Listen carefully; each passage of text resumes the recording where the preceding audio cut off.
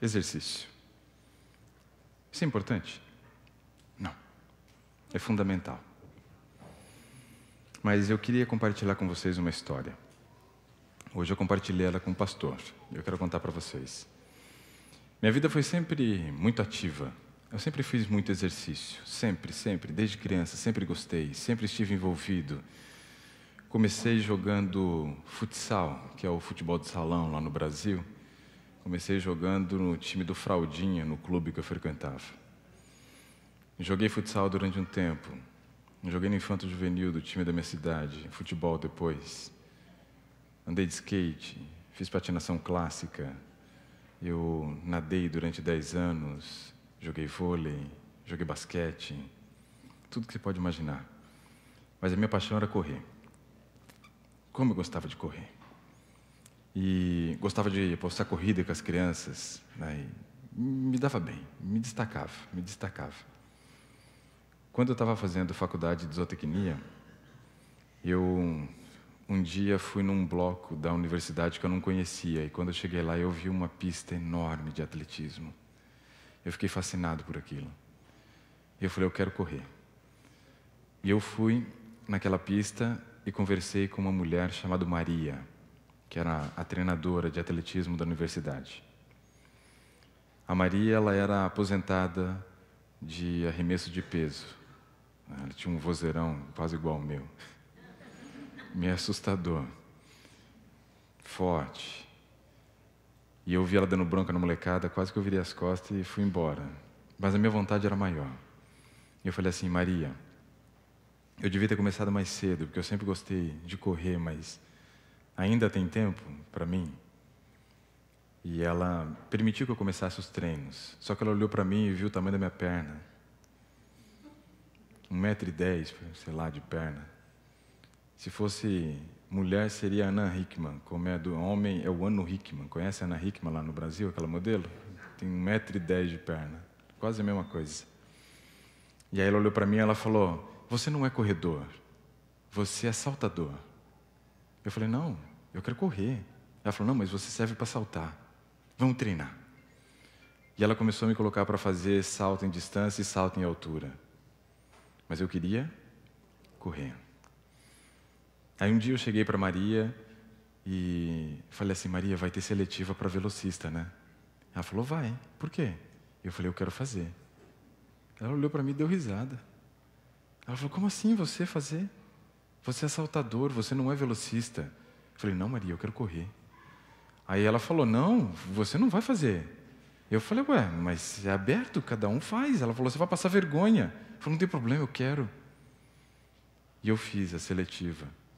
E ela tirou o maior sarro, dizendo que eu ia reprovar. Passei. Primeiro lugar. Aí comecei a fazer treinos de velocidade. O treino era muito puxado a gente chegava e começava é, o nosso treino com aquecimento. E a Maria falava para a gente assim: dez voltas. Dez voltas na pista, de 400 metros, para aquecer. Para aquecer. Quatro quilômetros. Aí a gente começava a correr na pista, sem sapatilha. Ela ficava louca. Ninguém corre na minha pista de, sem sapatilha. Vai para a grama. Aí a gente dava um migué e ia para o lado de dentro da pista, na grama. Vai para o lado de fora, seus preguiçosos. Dava mais de 4 quilômetros, porque tinha a volta era maior. Dez voltas. Terminava, a gente tinha meia hora de alongamento. Na hora que terminava o alongamento, a gente queria ir embora. Eu não queria fazer mais nada. Meia hora de alongamento, 4 quilômetros de corrida, tá bom, vamos embora. Aí ela falava, vamos começar a fazer tiro agora. Eu falei, tiro para onde? Aqui não tem favela. Na Maringá não tinha favela. Ela falou, vamos correr. 20 tiros de 100 metros, 2 quilômetros. Vai no tiro, volta tortando. Na verdade, então, deu quanto? 4 quilômetros. Mais 4 quilômetros de corrida. Já tinha corrido? 4. Já deu 8. Agora vamos para o tiro de 400. 10 tiros de 400. Mais 4 quilômetros. Agora vamos para o tiro de 800. 5 tiros de 800. Deu mais 4 quilômetros. Quanto que deu? Já nem sei mais. 4, 8, 12, 16, né? Já está em 16, isso. Aí mais 5 tiros de 1.200. Mais 5 tiros de 1.200 deu mais 6. Agora a gente já está com 22. E aí ela falava: agora vão alongar para vocês ir embora.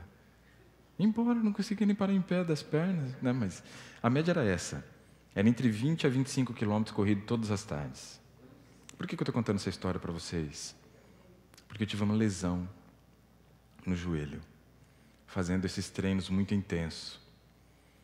Hoje eu sei de uma coisa que antes eu não sabia.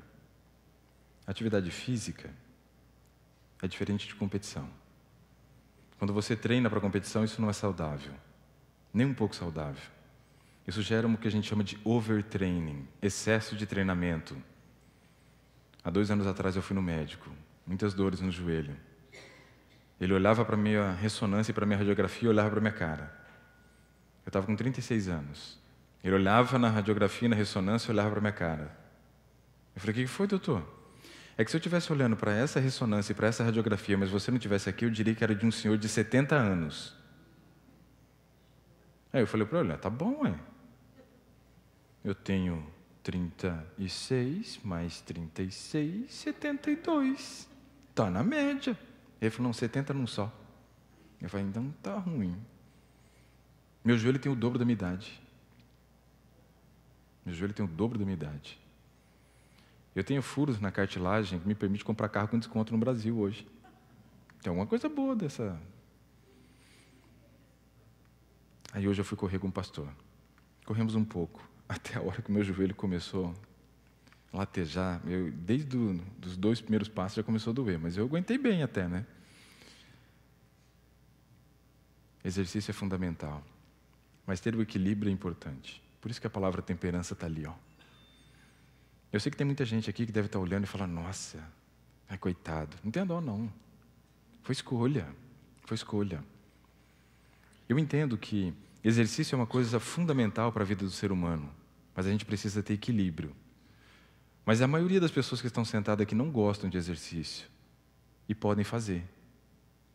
Não gostam, mas podem fazer. Eu amo e não posso fazer. Eu ouvi a história dela ali e fiquei pensando, eu falei, ah, se a minha fosse assim seria bom.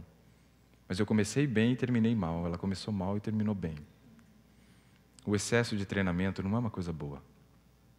Sobrecarrega demais as articulações. A minha patela é muito grande e ela começou a medializar.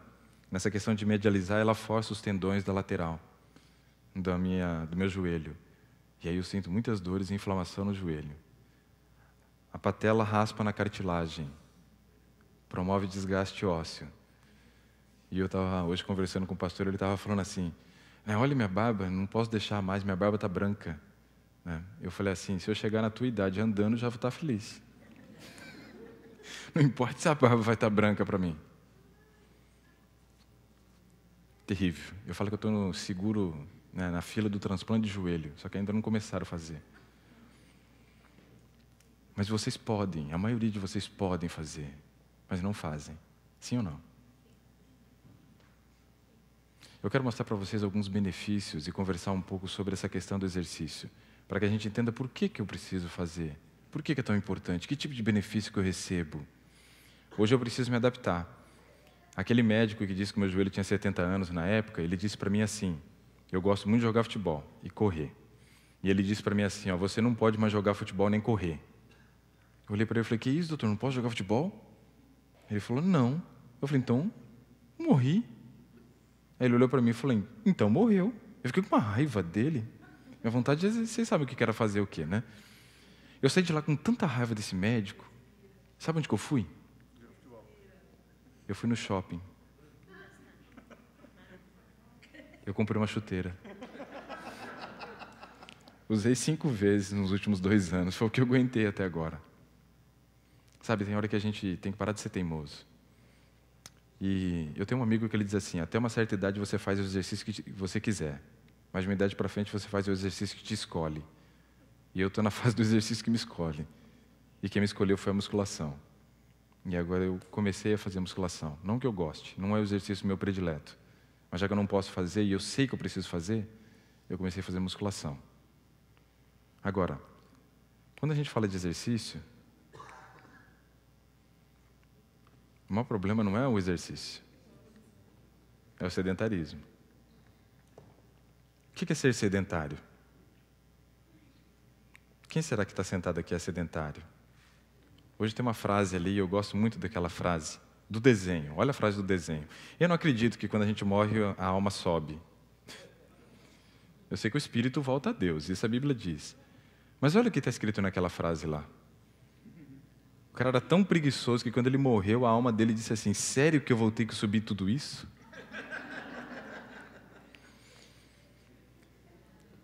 O sedentarismo ele vem crescendo de forma alarmante no mundo. Isso é uma realidade. No Brasil, pesquisas mostram que aproximadamente 80% da população é sedentária. É muita coisa. Agora, olha só. É interessante quando a gente olha aquela frase ali na frente, ó, deixando de ser uma preocupação meramente estética. O sedentarismo hoje não é uma preocupação estética. Ele se tornou o quê? Ele se tornou um problema grave de saúde.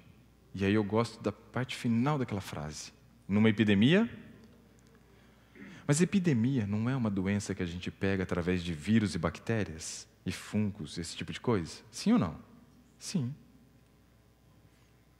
O sedentarismo se tornou uma epidemia, então quer dizer que sedentarismo pega? Sim ou não? Pega. Dependendo do grupo que você fica inserido, se ele é sedentário, qual é a sua tendência? Ser ativo? Sim ou não? Então nós precisamos, às vezes, trocar de amigos. Porque talvez nossos amigos não estão nos ajudando a alcançar os nossos objetivos. Tem uma pesquisa falando sobre alimentação que diz que 30,4% do que você come é definido pelo, pelas pessoas com quem você anda. Essa questão do sedentarismo também. Como existe um número muito grande de pessoas sedentárias, é difícil muitas vezes da gente se aproximar de pessoas ativas, porque elas estão sempre correndo, a gente está sempre andando, então nunca se encontra, não é? Mas é importante que você comece a desenvolver relacionamento com pessoas ativas, porque elas vão ser o seu fator de motivação para você fazer exercício, para que você não seja pego por essa epidemia global do sedentarismo. Isso é muito sério. Agora, quando eu falo de sedentarismo, eu estou falando de uma coisa muito séria. O sedentarismo, a medicina moderna considera aquele indivíduo que gasta poucas calorias por semana em quê? O que está escrito ali? Em atividades ocupacionais, não é atividade física. O sedentário não é aquele que não faz caminhada. O sedentário não é aquele que não corre. O sedentário é aquele que gasta uma quantidade menor do que 2.200 calorias durante uma semana inteira em atividades do cotidiano. Que atividades são essas? Que atividades do cotidiano que eu estou falando?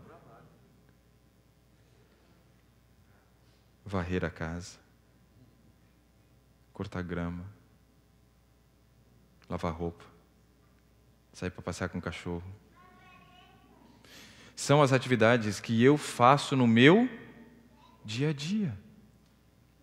Se eu gastar menos de 2.200 calorias durante uma semana inteira em não gastar essas calorias, no caso aí, menos de 2.200, uma semana inteira, eu sou sedentário.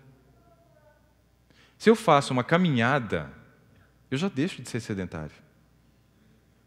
Sim ou não? Sim.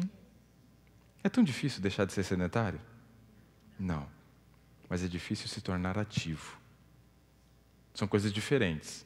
Sair do sedentarismo e se tornar uma pessoa ativa são coisas diferentes. Se você começa a se envolver em mais atividades ali do seu dia a dia, você deixa de ser sedentário, mas você não se tornou ainda uma pessoa ativa. Eu não quero que você deixe de ser sedentário, eu quero que você se torne ativo. Mas quando a gente fala em se tornar ativo, nós estamos falando em fazer exercícios que vão trazer inúmeros benefícios para nós. Mas veja só alguns exemplos de pessoas que são sedentárias aos riscos que elas se expõem. O sedentarismo faz com que você tenha atrofia da fibra muscular. Sabe, músculo não é um tecido qualquer. Músculo é o tecido mais importante que eu e você temos no corpo. E é um tecido que pode ser construído ou destruído. Tudo depende do estilo de vida que eu estou levando. Mas conforme a idade avança, e depois dos 35, todo mundo já começa a entrar na fase do declínio da massa muscular, depois dos 35. Se eu não fiz nada, o que, aconteceu? Dos 35 até a idade que eu tenho, eu só estou na fase do declínio. Então tem gente que já está há 35 anos, talvez, em um declínio. Metade da vida construindo músculo, metade da vida destruindo a musculatura. Mas não é para ser assim. Se eu passei dos 35, eu começo já a ter um risco maior de atrofia. Agora, olha aquela imagem que está lá do lado esquerdo. Ali está escrito ativo e inativo. Você consegue perceber a diferença da musculatura de um e de outro? Olha a musculatura do ombro. Conseguiu perceber a diferença? Aí tem muita gente que fica reclamando de dor. Ai, eu sinto dor o tempo inteiro. Por que talvez que as pessoas sentem tantas dores? Porque elas têm o quê? Atrofia da fibra muscular. E quando você não tem mais essa musculatura protegendo as suas articulações, protegendo os seus ossos, envolvendo os seus ossos, você começa a ter atrito. E aí você começa a perder a sua cartilagem por causa desse atrito. Depois lá na frente a gente vai ver que a massa óssea também se desfaz conforme eu vou perdendo a musculatura. Então preservar a massa muscular é uma coisa extremamente importante. Mas é impossível você preservar sua massa muscular se você não faz Exercício. E olha, eu digo para vocês, ganhar músculo dá um trabalho miserável. Então faça de tudo para não perdê-lo. Porque recuperar. Agora, nós estamos falando para um grupo de pessoas que está no, nos ouvindo que talvez tenha passado já por essa situação que eu vou dizer. Ganhou peso. Perdeu peso. Ganhou peso. Perdeu peso. Ganhou peso perdeu peso. Ganhou peso e não perdeu mais peso. É, acontece. Depois vocês vão entender por quê. Mas nesse ganhou e perdeu, perdeu, ganhou, perdeu, ganhou, perdeu, ganhou, você está queimando o quê? Gordura? Se você estivesse queimando gordura, você teria perdido, mas não teria ganhado. Se você ganhou porque você perdeu o quê? músculo. E se você ganhou, você ganhou o quê? Músculo? Ganhou o quê? Falem, vocês sabem? Gordura. E aí depois você perdeu de novo o quê? Um pouco de músculo. E ganhou de novo? Ou seja, conforme a gente emagrece, engorda, emagrece, engorda, emagrece, engorda, o que, que vai acontecendo com a nossa fibra muscular? Vai perdendo. Então quer dizer que eu não tenho uma perda de fibra muscular, uma atrofia muscular, simplesmente pelo avanço da minha idade. Mas também todas as vezes que eu emagreci sem a devida orientação. Fazendo cardápios extremamente restritivos e sem a prática da atividade física. Sem investir numa boa noite de sono. Porque esse tripé é fundamental para a perda de peso. E aí a gente vai emagrecendo e depois ganhando e emagrecendo e ganhando, só que eu estou levando músculo cada vez. E cada vez que eu ganho, eu ganho gordura. Ou seja, era muito melhor ter ficado gordinho a vida inteira do que ter emagrecido e voltado a ficar gordinho. Uma vez eu recebi uma paciente conversando com ela, eu perguntei assim: Você já fez dieta alguma vez na vida? Ela falou: Como assim já fez dieta? Meu nome é dieta. Eu já tinha entendido que o caso ia ser sério. Por quê? Porque quando uma pessoa emagrece, engorda, emagrece, engorda, o metabolismo dela vai ficando cada vez mais lento. Porque ela está perdendo tecido ativo, tecido que gasta caloria. Então, preservar a tua musculatura é a melhor estratégia que existe para você manter o seu peso por toda a vida. Além da questão da perda, da atrofia e dos problemas articulares, essa questão do peso é um problema muito sério. Num spa que eu trabalhei, nós recebemos uma vez uma hóspede. No spa a gente faz uma conta, porque assim, todo mundo que vai para o spa vai com a finalidade de emagrecer. E ela quer emagrecer. Então a gente tinha uma conta. A pessoa tinha que perder no mínimo 300 gramas por dia. No mínimo. Isso daria, numa semana, quanto? 2.100, não é? 2,1 kg. Por semana. Esse é o mínimo para se perder num spa. Senão a pessoa sai frustrada. Entendeu? Só que a gente recebeu uma hóspede e ela não perdia um grama. Nenhum grama. Três dias. Já era para ela ter perdido 900 gramas ela não tinha perdido um grama. Só que lá no spa, você sabe o que ela come, você sabe a quantidade de exercício que ela fez, você sabe a hora que ela dormiu, você sabe a hora que ela acordou. Ou seja, nós controlamos as variáveis dentro de um spa. E ela não perdia peso. Eu falei, mas que miserável. O que está acontecendo com essa criatura que não emagrece? Todo mundo emagrece? Naquela semana, o dono do spa, o meu patrão, ele havia comprado uma máquina, que é uma calorimetria indireta, uma máquina de medir o volume de calorias que você gasta por hora.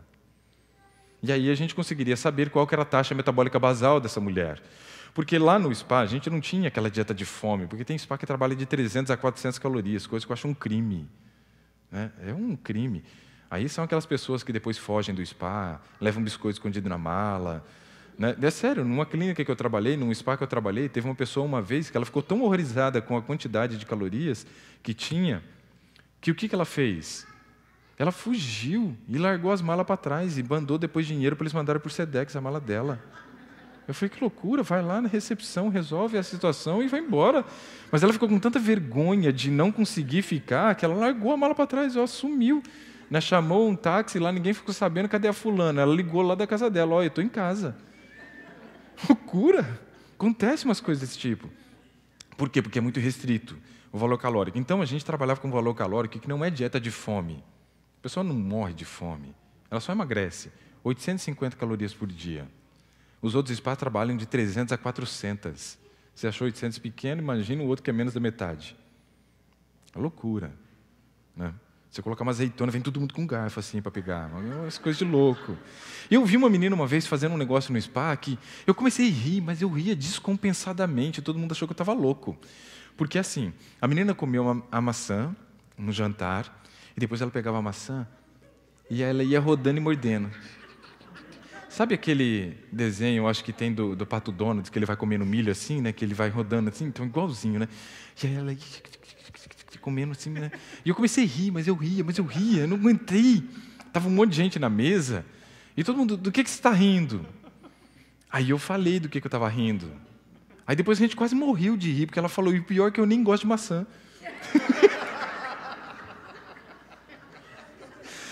Foi assim uma cena para nunca mais esquecer. Mas aquela mulher não emagrecia com essa dieta de 850. Aí nós fizemos a taxa metabólica basal dela, pela calorimetria indireta. Sabe quanto que deu? 600 calorias. Essa era a quantidade de calorias que ela gastava, que ela gastava por dia para se manter viva. 600 calorias é absurdamente baixo. E aí eu perguntei para ela assim: já fez dieta na vida? Ela não falou que o nome dela era dieta, porque já tinha uma chamada assim. Mas ela disse assim: a minha vida toda. Aí eu entendi o caso. Tive que reduzir o valor calórico dela para 650 calorias.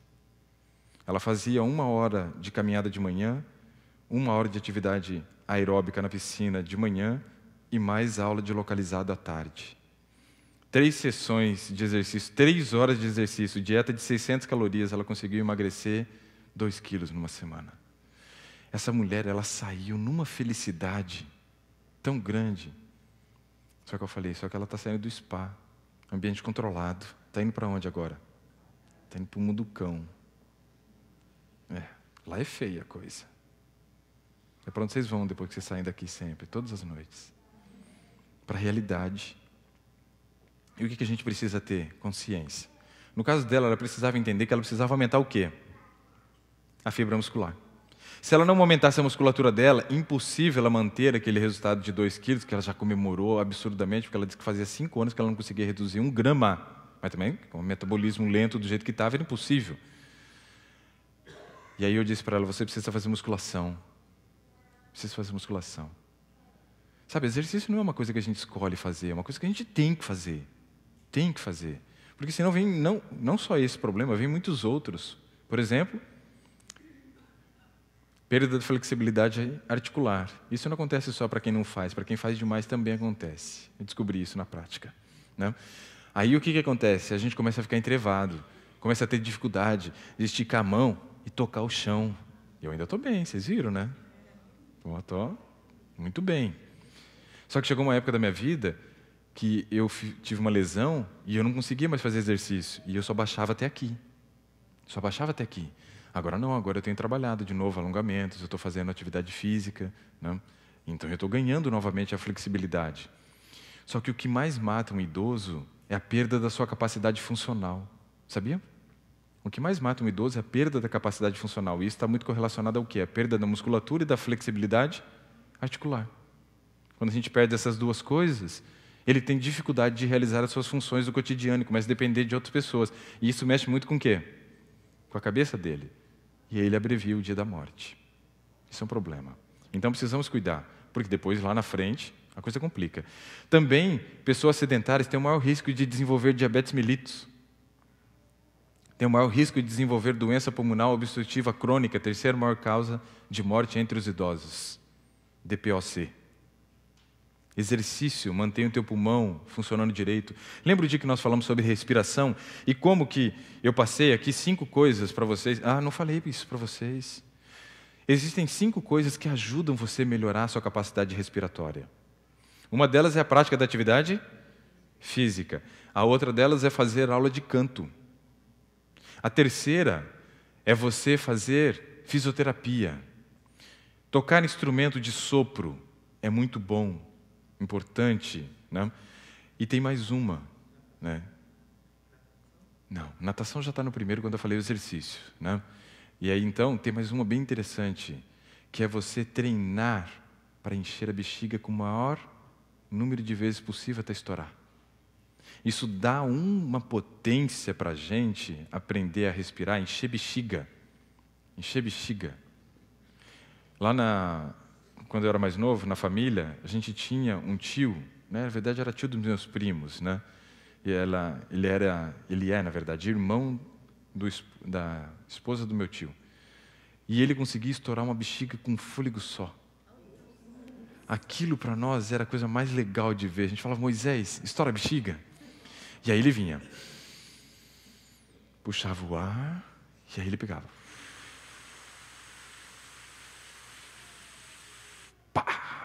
De uma vez só. Eu falava, nossa, que coisa fantástica. Eu achava aquilo demais, né? Eu achava demais. Depois, no clube, as crianças começaram a fazer uma tal de apneia. Já ouviram falar de apneia? Apneia é quando você entra na água e você tenta ficar o máximo que você consegue ali. Eu fiquei 27 segundos. Meus amigos estavam ficando quase um minuto. Me senti envergonhado com aquilo. E aí eu comecei a treinar, treinar, treinar, treinar, treinar. Até que eu cheguei a três minutos. Cheguei a três minutos. Por quê? Porque é o treino. Mas na verdade, eu nadava, eu comecei a fazer natação, e isso já foi fazendo com que eu ganhasse essa capacidade cardiorrespiratória. E é isso que vai fazer a gente chegar respirando bem no final da vida. É isso que vai fazer a gente chegar respirando bem no final da vida. Por quê? Porque o exercício faz com que você trabalhe o diafragma e aí você melhora a capacidade pulmonar e vai evitar os problemas futuros. Por quê? Porque quem respira mal hoje vai chegar com o seu pulmão todo fibrosado lá na terceira idade. E aí a coisa complica, dá doença pulmonar obstrutiva crônica. Associe essa questão do exercício para que você não tenha esse tipo de problema no futuro. Que mais? Olha lá. Quem não faz atividade física aumenta o risco de obesidade, infarto agudo do miocárdio, está lá do outro lado, mudou, né? e dislipidemia. Vocês estão vendo ali, naquele meio, que tem aquela quantidade enorme de gordura se acumulando naquele vaso sanguíneo? A atividade física ajuda, ajuda a evitar esse tipo de acúmulo. O pior é que esse acúmulo ele não começa com 20 anos, ele não começa com 30 anos, ele não começa com 50 anos. Ele começa com quando? Com quantos anos? Na infância. Você já começa a construir placas de heteroma muitas vezes na infância. E aí voltamos àquela questão do sedentarismo na escola. As crianças não fazem mais atividade física na escola. Não é verdade? Então a coisa está ficando séria, porque a gente começa a construir as doenças não quando a gente está adulto, a gente começa a construir as doenças enquanto nós estamos pequenos e vamos colher isso daí lá na nossa idade adulta, na nossa velhice. Mas o exercício é uma coisa que as crianças antes faziam de maneira natural. Quem aqui subiu em árvore quando era criança? Agora, seu filho subiu em árvore? Quantos aqui soltaram pipa quando era criança? Quantos brincaram de betes ou taco, dependendo de onde você nasceu? Nossa, era bom, hein? Aquilo era bom demais. Quantos conheceram e brincaram de rouba-bandeira? Ela ajuda. Elefante colorido. era bom, não era? Aquilo era exercício. Só que hoje a gente olha para o exercício como se fosse um fardo. Só que no passado o exercício para nós era o quê? Era prazer. Nós precisamos retomar isso, fazer com que o exercício volte a ser para nós o quê? Prazeroso. E como é que eu faço o exercício voltar a ser prazeroso? Eu preciso eliminar distrações. Isso é importante. Mas tem uma coisa que é fundamental para o exercício voltar a ser prazeroso. Preciso fazer. Porque senão eu só fico com vontade. Mas eu não experimento. Eu preciso experimentar de novo. Brinquem. Façam da sua atividade física uma brincadeira, um momento lúdico, um momento de prazer. Chame amigos, convide a família, brinque com os filhos, role no chão. Isso tudo vai tirar você do sedentarismo, mas vai começar a te gerar ânimo para você ter uma prática de atividade física regular. Isso é fundamental. Precisamos fazer o exercício se tornar para nós o que novamente? Prazeroso. Eu preciso sentir prazer. É gostoso, não é? Claro que era. Era bom demais. A gente voltava para casa de alma lavada, não era assim? Chegava no final do dia, a vontade era fazer o quê? Tomar um banho e dormir. Porque estava moído. Hoje a gente chega em casa e tem dificuldade para dormir. Por quê? Porque o corpo não cansou o suficiente. Você não gerou estímulo para você sentir sono. Percebe que as coisas começam a se interligar agora? Quem faz exercício respira melhor. Quem faz exercício dorme melhor. Quem faz exercício bebe mais água. Estão começando a entender que as coisas vão fechando. Só que aí a gente fica sofrendo consequências de uma coisa que antes a gente fazia porque era gostoso, porque era prazeroso. Não, mas hoje é um fardo, não tenho tempo que não tem tempo? Todo mundo tem 24 horas, por que, que uns têm e outros não têm? Porque alguns não sabem fazer o quê? Gestão do tempo. Gestão do tempo. A gente tem muitas distrações. Passamos muito tempo na frente de celulares, envolvidos com atividades que não agregam em nada. E para isso não conseguimos um mínimo de tempo possível para fazer o quê? Algo que é importante? Não, algo que é básico para a vida do ser humano. Olha quanto enrosco que vai ter para aqueles que não fazem. Tem mais. Tudo que é ruim ainda pode piorar, acredite nisso. Doença cardiovascular, hipertensão arterial sistêmica, câncer. Exercício físico é fator de proteção para o câncer. Aumenta o sistema imunológico, estimula a produção de GH, reduz a quantidade de cortisol. Tudo isso tem a ver com o aparecimento do câncer. Agora vamos falar uma coisa. Que tipo de exercício que eu devo fazer então? Se eu não quero ter esse monte de mazela, e claro que dava para ficar a noite inteira falando de mazelas aqui, mas eu não gosto disso. Só citei algumas. Eu quero mostrar o que você vai receber de bom. Mas, exercício aeróbico e anaeróbico, quem é melhor? Ninguém.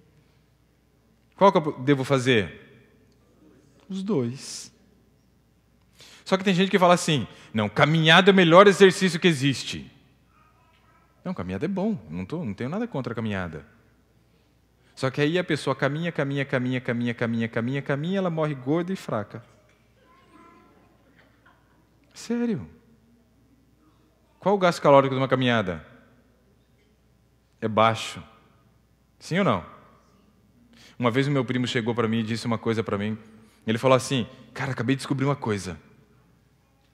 Esse meu primo mora no Canadá, chama Ivor mora em Edmond, ali no Canadá. Ele falou, eu falei, o que você descobriu? Ele falou, acabei de descobrir que caminhar engorda. Eu falei, como assim? Você está louco? Desde quando caminhar engorda? Eu falei, ele falou, Acabou, acabei de descobrir isso. Eu falei, como é que você descobriu isso? Ele falou, andando ali em volta do parque de carro agora. Eu falei, é? E assim, você deu uma volta ali e descobriu que caminhar engorda? Ele falou, é todo magrinho está correndo. todo gordinho está caminhando, automaticamente caminha engorda. Uma salva de palmas, meu primo, né?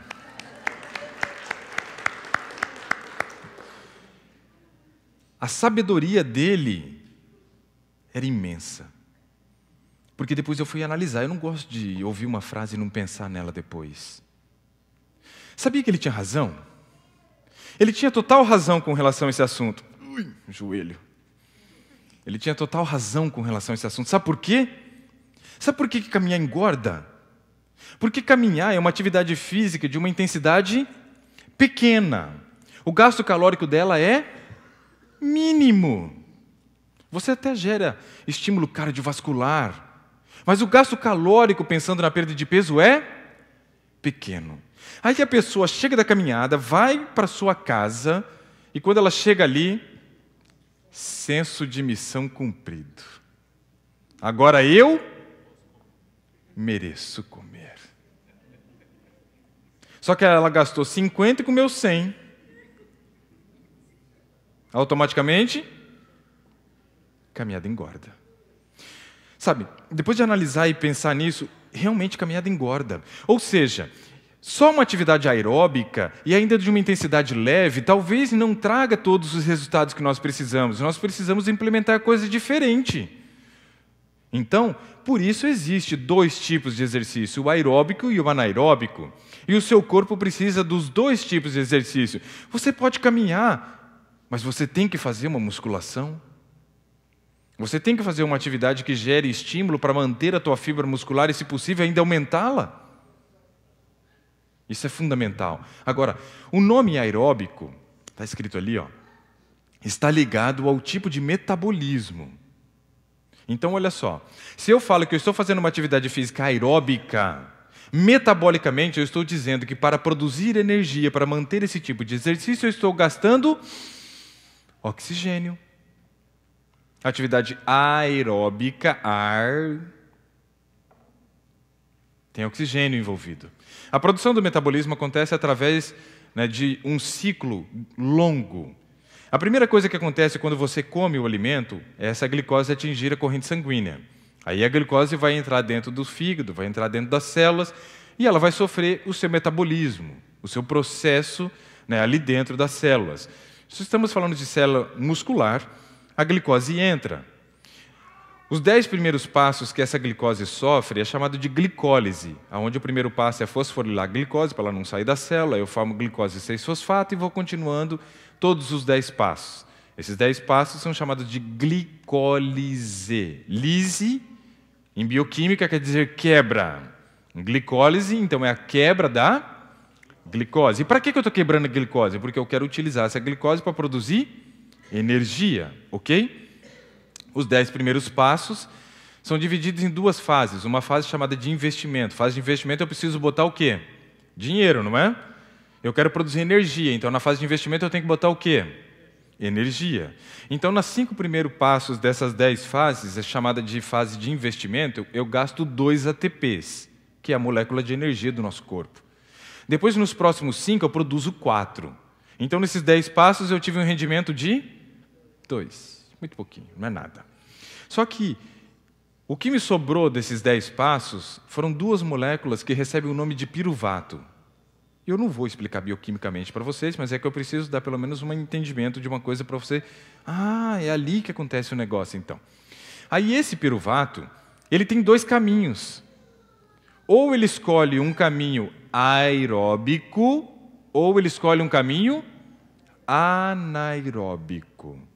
O caminho que ele vai escolher depende do tipo de exercício que você está fazendo. Se você está fazendo um exercício aeróbico de caminhada, é esse processo que ele vai fazer. Só que aí tem um viés. E se eu respiro mal? Hum. Se eu respiro mal durante o exercício aeróbico, eu preciso escolher a via anaeróbica, porque não tenho disponibilidade de oxigênio suficiente para poder realizar os processos que vêm na sequência. Quais são os processos?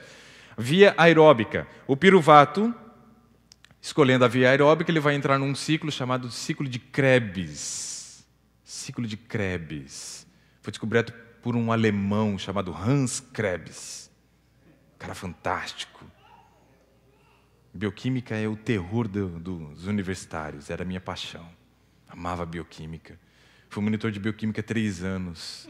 Né? Amava a disciplina. Um negócio fantástico. Por quê? Porque na época os caras não tinham nem microscópio direito, conseguiram descobrir um negócio que até hoje ninguém mudou. Ninguém achou diferente. E aí eu entro ali no ciclo de Krebs. Aí no ciclo de Krebs eu vou passar por um monte de passo e vou produzir matéria-prima para que aconteça um outro ciclo.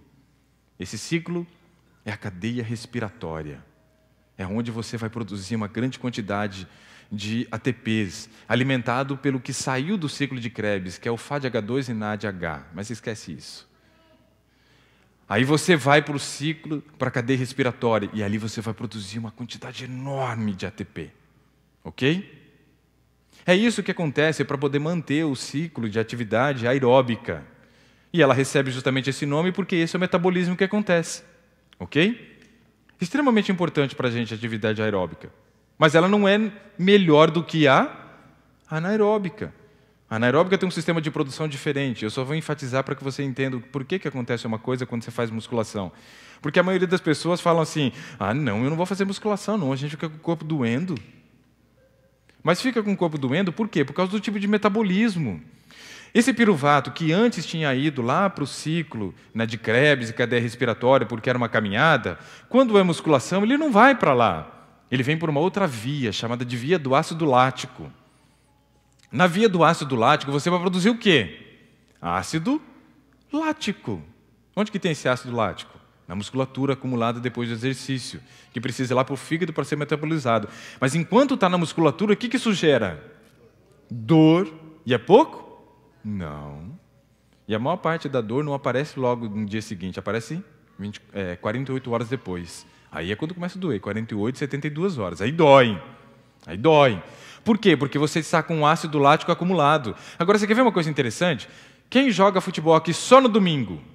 Só no domingo. Tem alguém que joga futebol só no domingo ou faz atividade física só no domingo? Tem alguém? Tem um. Quando você faz atividade física no domingo, você faz qual tipo de exercício? Corre. Corre na praia. Ok. Você fica com a musculatura doendo depois nos dias seguintes? Era atividade aeróbica, por que está doendo? Está entendendo? Minha pergunta? Era exercício aeróbico. Só que aí fica segunda, terça, quarta doendo, não é? Lá pela quinta começa a melhorar. É fisiologia isso. Não é bola de cristal, não, tá? Porque a Bíblia fala que os adivinhadores não herdarão o reino do céu. Então eu não estou fazendo nada de adivinhação. É só fisiologia e bioquímica que estão conversando. Então, por que, que acontece isso? Porque como a prática não é regular, a prática não sendo regular, o que, que acontece? O corpo não fica adaptado para fazer o ciclo de Krebs e cadeia respiratória. Então você vai para uma atividade que é aeróbica, só que o seu corpo não tem habilidade para fazer o metabolismo aeróbico. E aí ele precisa ir para a via do ácido lático. Então tem gente que está fazendo atividade aeróbica e está sentindo as mesmas dores de alguém que está fazendo musculação. Por quê? Porque o corpo não está habituado. Então mostra que quando eu falo de exercício aeróbico e anaeróbico, tem uma outra parada aí entrando no meio, que é a periodicidade. Ou seja, não adianta só escolher, não, vou fazer os dois, mas eu faço uma vez na semana cada um. Não resolve. Fazer várias vezes na semana é extremamente importante. Qual o número de vezes que eu devo fazer? No mínimo, cinco. Ah, não, mas eu, eu sou da época de fazer três vezes. Então você vai morrer fazendo três, e eu vou viver fazendo cinco. Porque três, a ciência se mostrou que é insuficiente. E cinco não é para qualquer um, cinco é só para quem está saudável. E para quem perdeu a saúde? Mais vezes para recuperar. Ou seja, descansa no sábado e faz nos demais dias. Vocês conhecem aquele texto da Bíblia que diz assim, ó? Presta atenção nesse texto da Bíblia, eu acho que você já deve ter lido alguma vez. O texto diz assim, ó: Aquele que não malha, que não coma, Nunca leram esse texto na Bíblia? Não tem esse texto lá, pastor? O texto fala: aquele que não trabalha, que não. Ué, mas eu estou falando que eu preciso trabalhar o quê? O corpo. Então, aquele que não malha, que não come. Então, tem muita gente que não está fazendo um trabalho nenhum muscular, mas está querendo encher a pança de comida. O músculo está aí, meu filho, e é para ser usado cinco vezes na semana no mínimo. E você gastando energia, você come e não ganha peso. Você simplesmente vai ter saúde. O exercício é fundamental para a longevidade. Por que, que eu falo tanto de peso? Ué, justamente porque nós temos a obesidade hoje como uma das principais causas de todas as doenças que nós temos. Olha só que interessante. Uma pessoa, quando começa a ganhar peso, ela já desenvolveu uma doença, mas o peso que ela desenvolveu aumenta o risco para desenvolver diabetes, aumenta o risco para ter infarto, aumenta o risco para ter câncer, aumenta o risco para ter é, hipertensão arterial sistêmica, aumenta o risco para ter diabetes, aumenta o risco para ter isso. Ter... Então, a base para o ser humano viver bem é ele estar bem também com o seu corpo. E eu só consigo conquistar um corpo magro fazendo atividade física. Isso é fundamental. Talvez seja dolorido, mas eu não vim aqui para passar a mão na sua cabeça. Eu vim aqui para fazer amizade com você e te ajudar. Mas nem sempre o processo de fazer amizade e ajudar, ele é simples. Às vezes é doloroso. Sim ou não? Disse que um amigo é aquele que chega e fala para o outro que ele está com mau hálito e o outro continua gostando dele. Eu estou falando as verdades que de repente você precisava ouvir nessa noite. Tudo bem que às vezes elas são um pouco duras, mas aguenta o tranco, puxa o teu cinto, prende aí e vamos continuar. Nós precisamos sair daqui hoje consciente com relação a esse assunto, mas não só consciente, motivados. Quem está ficando motivado? Levanta a mão. Amém? Então vou continuar batendo, porque vocês gostam de apanhar, já percebi. Então vamos continuar. Então vamos para o próximo. Bom, não vou continuar ali porque eu já expliquei o que eu queria. Agora, olha só, com relação às recomendações, eu já passei para você. Cinco vezes na semana é o mínimo. O melhor seria seis. Ligou sozinho os negócios do som. Bom, olha lá. Alguns benefícios para que a gente comece agora a ficar mais tranquilo e parar de bater. Bom, para criança, criança tem benefício quando faz exercício? Claro que tem. Ó, aumenta o gasto, o gasto calórico, reduz o risco de diabetes, dislipidemia e obesidade, gera estímulo para ganho de massa muscular, faz com que tenha desenvolvimento de força muscular e da flexibilidade, promove a formação de massa óssea, melhora o desenvolvimento do quê? Por isso que eu falei, né? Se exercício melhora o desenvolvimento da inteligência, para que cinco aulas de matemática na semana? Tira uma aula de matemática e põe aula de educação física no lugar. Tira uma de português e põe educação física. Tira uma de história e põe educação física. Tira uma de geografia e põe educação física. Tira uma de ciência e põe educação física. E aí você vai ter cinco aulas de educação física durante a semana. E quanto que é o mínimo de exercício? Cinco. Agora eles estão querendo arrancar a educação física da escola. Que loucura! Aí a criança estuda e, tem dificuldade de aprender. Aí eles dão o quê? Remédio para tratar transtorno de déficit de atenção e hiperatividade. A criança tem sedentarismo, ela não tem hiperatividade muitas vezes. Ela não está gastando energia no lugar certo. E aí ela fica dando trabalho para a mãe. Bota teu filho para fazer exercício. Tira da frente da televisão. E você vai perceber como é que ele vai ficar uma criança muito mais tranquila, uma criança muito mais responsável, uma criança muito mais inteligente, com facilidade de aprender. Muito melhor. E adulto, tem benefício quando faz exercício ou não? Tem, os mesmos, mas eu vou citar de novo para gravar, porque é assim que aprende, é revisão. Previne obesidade, diabetes, dislipidemia, Opa, agora começou a aparecer um negócio diferente aqui. Ó. Previne Alzheimer, formação das placas de ateroma, estimula a produção de serotonina, de dopamina, ou seja, o exercício também produz dopamina, não era só aqueles cinco aspectos. Lembram quais eram os cinco aspectos que produziam dopamina? Palestra de sábado à tarde?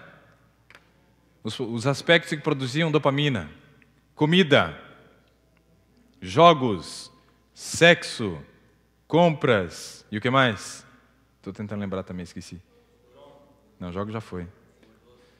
Não, já foi também que é comida. Comida, jogos, sexo, compras, ah, drogas, drogas ilícitas, ilícitas.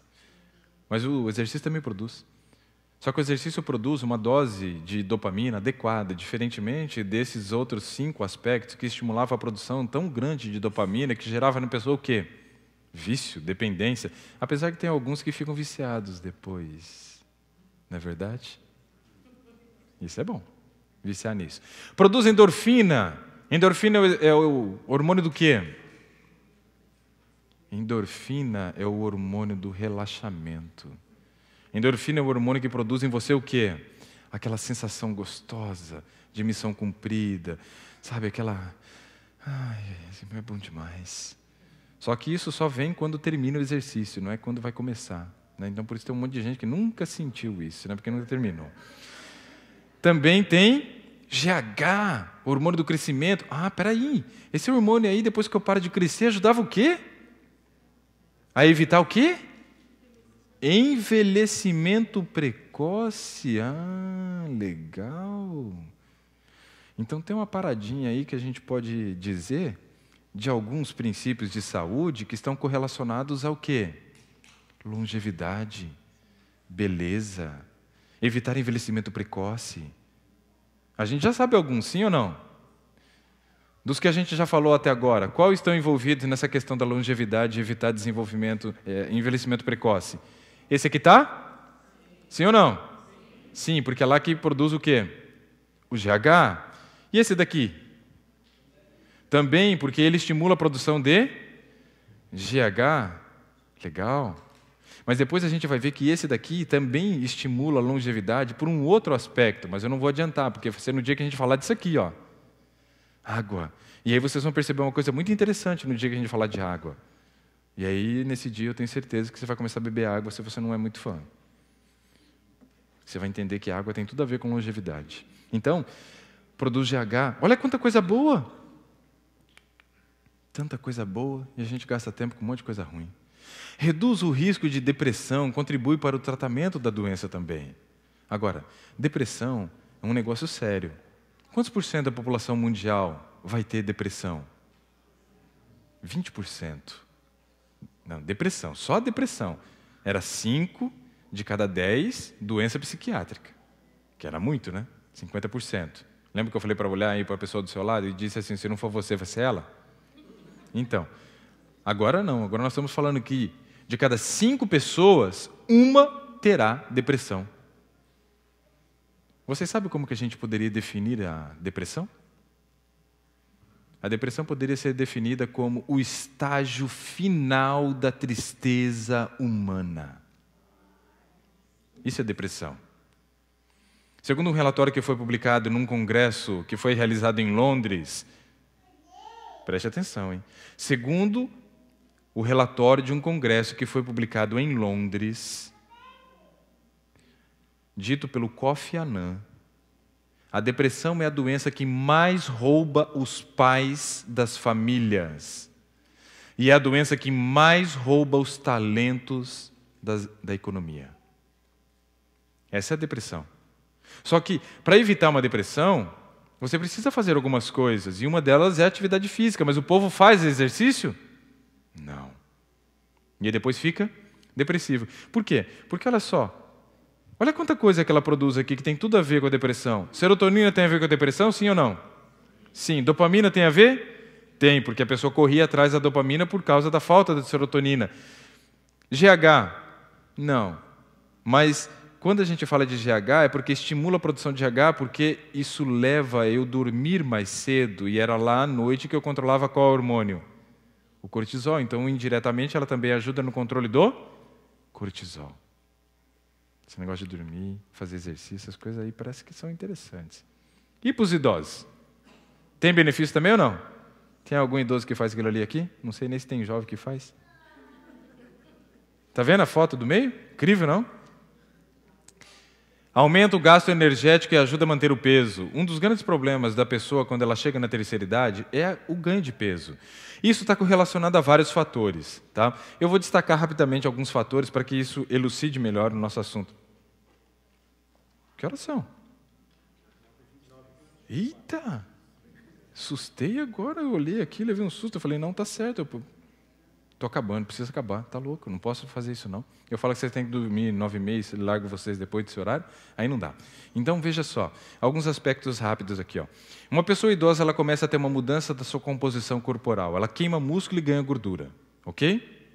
Por quê? Porque ela diminui a produção da testosterona Quantos aqui já fizeram dosagem de testosterona? Levanta a mão. Eita, deu umas cinco mãos. Hoje não, porque já deve estar fechado o laboratório. Mas amanhã, por favor, tenta providenciar alguma coisa desse tipo. Veja quem pode fazer o pedido. Você precisa fazer um exame desse. Testosterona é um hormônio sexual masculino, mas as mulheres também têm. É, é, tem sim. Quando tem muito, fala igual eu. Né? Quando tem menos, é mulherzinha. Ótimo, tem, fique assim. Né? Porque tem muita mulher que entra na academia e começa a falar grave igual eu, aí a coisa começa a ficar feia. Por quê? A testosterona ela tem um papel importante na vida do homem e da mulher. Na vida da mulher, a testosterona mantém a libido sexual dela. Depois dos 40 anos, tem muito marido trocando a esposa por duas de 20, não é assim que é o ditado? Por que, que acontece isso? Porque não há mais interesse sexual um pelo outro. Muitas vezes porque a testosterona dele está baixa e a dela também. Sem testosterona, não tem sobremesa à noite. Isso é sério. Coisa fica séria. E todo mundo gosta de sobremesa. Bom, né?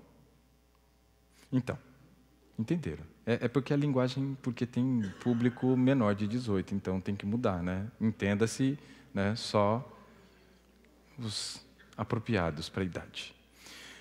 Um aspecto, outro, aspecto importante é o seguinte: ela tem fundamental nessa parte, mas ela também é fundamental para a manutenção da massa muscular. E aí, se a sua testosterona está baixa, você começa a queimar músculo. Só que a partir do músculo que você queimou, você produz gordura. Então você vê que o exercício estimula a testosterona a se manter um pouco mais elevada durante um determinado tempo. Mas há um período que nem o exercício consegue manter a testosterona. E aí é preciso fazer uma reposição. Existe vários produtos vendidos por aí. Onde você acha que vende esse produto? No Walmart. Na verdade, esse eu não vi no Walmart, não. Onde que nós vimos? É na, naquele shopping? Vitamin Shop, né? Então, lá tem esses produtos, Tribulus terrestre. É o nome do produto que você precisa procurar. Na verdade, você vai procurar um produto lá para estimular a produção de testosterona, mas a base dele é Tribulus terrestres. A gente tem que tomar uma dose de 750 miligramas de Tribulus, se é do sexo feminino, e 1.500 é do sexo masculino, para tentar estimular o teu corpo a produzir testosterona. Só que muita gente vai tomar e não vai ter o resultado, então aí teria que fazer o uso do gel diretamente na pele. E isso é uma coisa extremamente importante, porque o exercício ajuda a evitar o declínio da testosterona. Mas chega uma época que só o exercício não é mais suficiente, ok? E a gente precisa de um estímulo externo, e é extremamente importante. Quem faz uso de testosterona tem vida ativa em todas as áreas, entenda-se os mais velhos, né? até o fim da vida. Aumenta a capacidade cardiorrespiratória, exercício. Evita doença cardiovascular, obesidade. Previne diabetes, hipertensão, dislipidemia.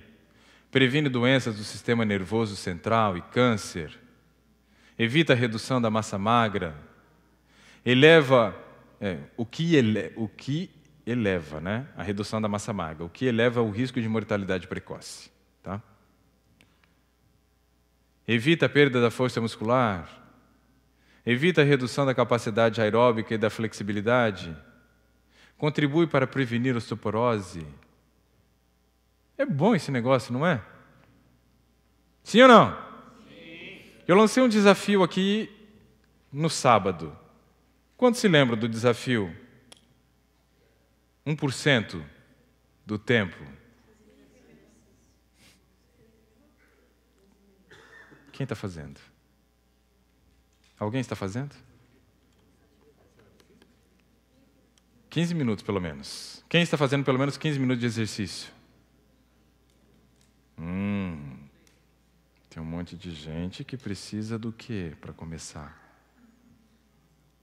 Eu dei algumas dicas para você fazer exercício. Responda essas perguntas na sua casa. Que tipo de exercício eu vou fazer? Quando eu vou fazer? Quanto tempo de exercício eu vou fazer? Qual a intensidade do exercício que eu vou fazer? Ok? Qual tipo? quando, quanto e qual a intensidade. Digamos que você determine que você vai fazer caminhada. Que o tempo vai ser 30 minutos. Que o horário vai ser das 9 às 9h30. Ah, não, de manhã. Não, de manhã é muito tempo. De manhã passa e você não percebe. Só vira compromisso quando tem horário, das 9 às 9h30. E no ritmo, na intensidade, intercalando de 3 minutos de caminhada lenta com um minuto de caminhada rápida. Um exemplo. Tá? Isso ajuda para que a gente consolide a prática da atividade física. Saber quando, quanto, qual e qual a intensidade. Tá? Isso é fundamental. O que você está esperando para valorizar esses princípios de saúde? O que você está esperando para você começar a criar responsabilidade, buscar estratégias para implementar isso no seu dia a dia? O que está faltando? Eu não acredito que seja falta de motivação. Também não acredito que seja falta né, de entendimento, porque eu acho que todo mundo sabe que precisa disso. Sinceramente, sinceridade mesmo. Eu não precisava estar aqui para estimular você para fazer isso. Na verdade, ninguém precisava estar. Porque eu preciso ser o meu fator de motivação, eu preciso me automotivar. Só que a questão da automotivação, ela está muito correlacionada à questão da autorresponsabilidade. E nós precisamos desenvolver responsabilidades da nossa vida. E eu novamente quero reforçar, eu já fiz esse convite no sábado, que você dedique pelo menos 1% do seu tempo do dia para que você faça exercício. Eu não acho que isso é muito. Na verdade, eu acho que é muito sim.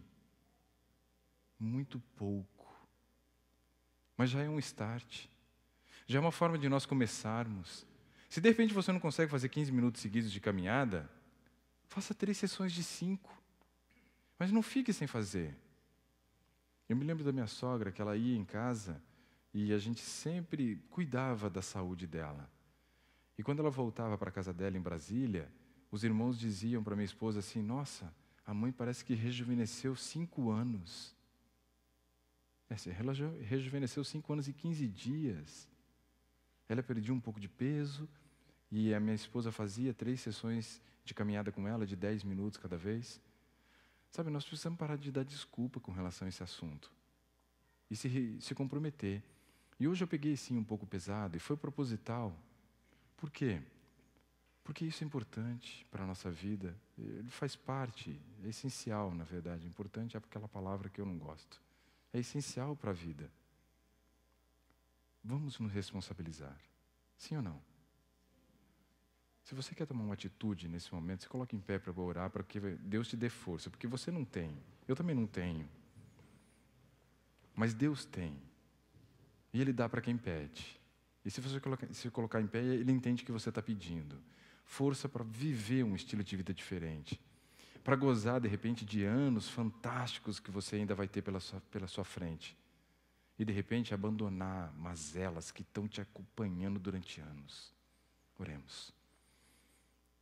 Senhor que nos altos céus habita. Estamos mais um tema nesta noite, algo que é fundamental para quem quer ter vida em abundância. Mas a gente é duro.